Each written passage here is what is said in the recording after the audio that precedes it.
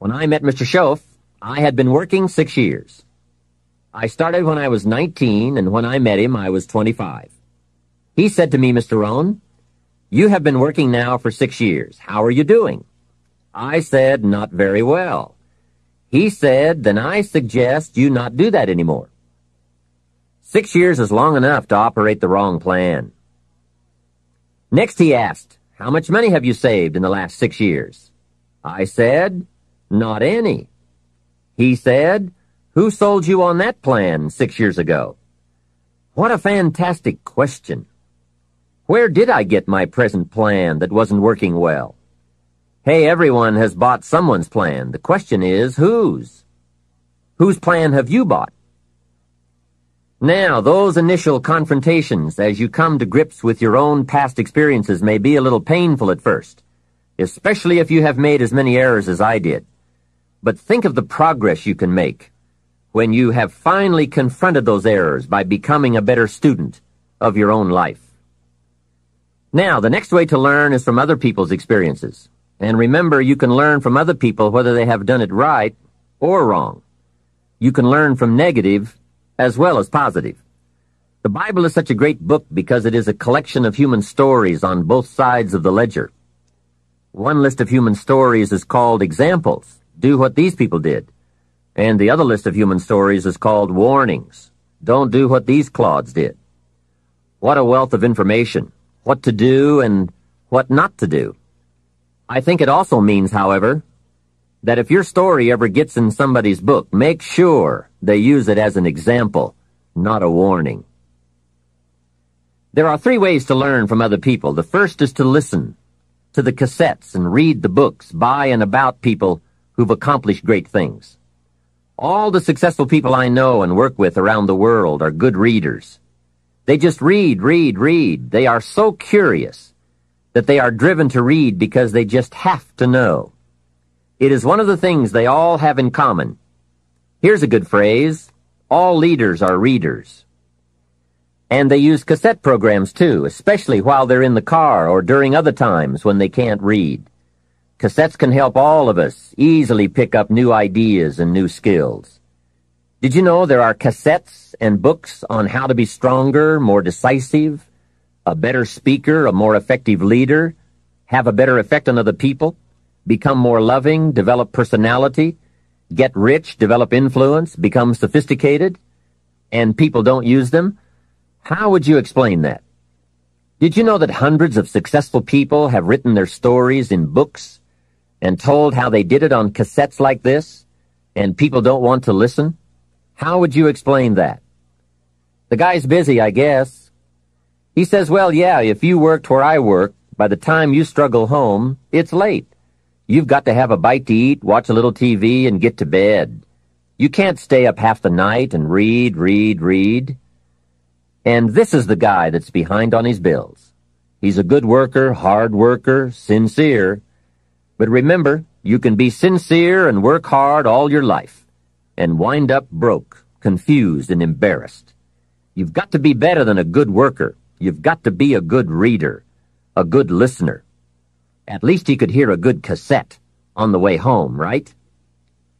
Now, you don't have to read or listen to educational cassettes half the night. Although if you're broke, it's a good place to start. But here is all I ask, just 30 minutes a day. That's all. Stretch it to an hour if you can, but at least 30 minutes. Half rich isn't bad.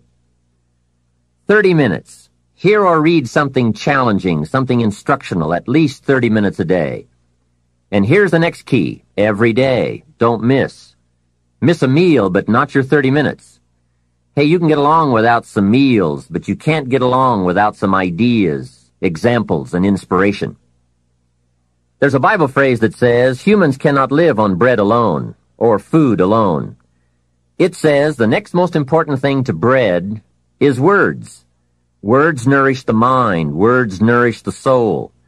Humans have to have food and words to be healthy and prosperous. Make sure you have a good diet of words every day. I told my staff one day some people read so little they have rickets of the mind. And also remember to properly feed the mind, you must have good balance. Don't just read or listen to the easy stuff. You can't live on mental candy. Here is a thought. Why not call good books and cassettes tapping the treasure of ideas? That's it. Tapping the treasure of ideas, like you're doing with this program. And if somebody's got a good excuse for not tapping the treasure of ideas for at least 30 minutes every day, or spending the money and getting the books and cassettes, I'd like to hear it. Some excuses you wouldn't believe. I say, John, I've got this gold mine. I've got so much gold, I don't know what to do with it all. Come on over and dig. John says, I don't have a shovel. I say, well, John, get you one. He says, do you know what they want for shovels? Hey, invest the money. Get the cassettes and books. The best money you can spend is money invested in your self-education. Don't shortchange yourself when it comes to investing in your own better future. Mr. Shoaff got me started on my library when I first met him. He said to me, become self-educated. Standard education will get you standard results. Check those numbers and see if that's what you want, and if it isn't, if you want something better than standard, you must become self-educated. So I went to work on my library, and I now have one of the best. Shoaff recommended a couple of books in particular to get me started. Now, I had a Bible, that's 66 books, so that was a pretty good start, and my parents saw to it that I had a good study of the Bible. But the first book Mr. Shoaff told me to get was the book Think and Grow Rich by Napoleon Hill. If you don't already have it, it's a great one to add to your library. Earl Nightingale has put it on cassette. The title should intrigue you. Think and Grow Rich. I read it several dozen times. Shoaff said repetition is the mother of skill. And if you could have seen my bank account at the time, you would have known I needed lots of that kind of repetition. Some of the ideas in that book made major changes in my life. As I look back now, the book was worth thousands, and I bought it for pennies. I learned a very valuable lesson. There can be a great deal of difference between cost and value. Before I met Mr. Shoaff, I used to ask, how much does it cost? After I met him, however, I soon learned to ask, how much is it worth? I started basing my life on worth instead of cost, and everything changed. So that was one book he recommended, Think and Grow Rich. The next book he recommended I get was a book on nutrition. Shoaff said, study nutrition. Vitality plays an important part in doing well. Some people don't do well because they don't feel well. It's not that they're not intelligent. It's that they're ill. They don't have the fire and the vitality to do well. So he really got on me about nutrition. Now, some of those health books are a bit weird, but you can separate out the weird stuff. There are cassettes on nutrition, too. Remember, don't be a follower. Be a student. Someone says, I read this book. Should I follow? And the answer is no. Read at least two books and make up your own mind. Don't be a follower. Be a student. So take care of yourself. There's a Bible phrase that says, Many times the spirit is willing, but the body's weak. So you have to work on both. You wake up in the morning and the mind says, let's go get 'em. And the body says, I can't even get out of bed. So work on your health. A person's library of books and cassettes reveals his or her most dominant desires. It's interesting to walk into someone's house and browse through the library. What does your library say about you? So read all the books. Now here's good news. You don't have to read them all at once. Try this. Two books a week. In ten years is a thousand books. If you read a thousand books in the next ten years, do you think they would greatly influence all the dimensions of your life? The answer is, of course. Well, here's what's exciting. It's only two books a week. However, I would suggest if you haven't read two books a week for the last ten years, you are about a thousand books behind. Can you imagine the incredible disadvantage it will be ten years from now to stride into the marketplace a thousand books behind? For some confrontations, you won't be a match. And for some opportunities, your knowledge will be too lacking. For some values, your philosophy will be too shallow. Missing skills, missing knowledge, missing insights, missing values, missing lifestyle. It could happen if you don't read the books. Remember, the book you don't read won't help.